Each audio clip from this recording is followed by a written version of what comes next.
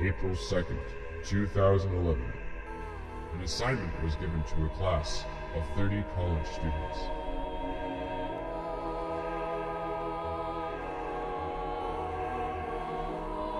The students were given the entire semester to complete the project.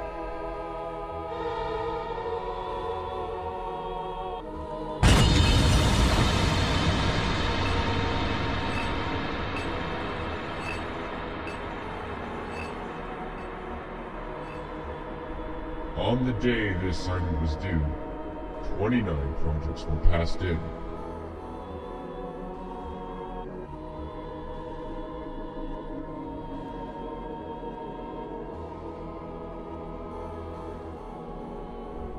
This project is number 30.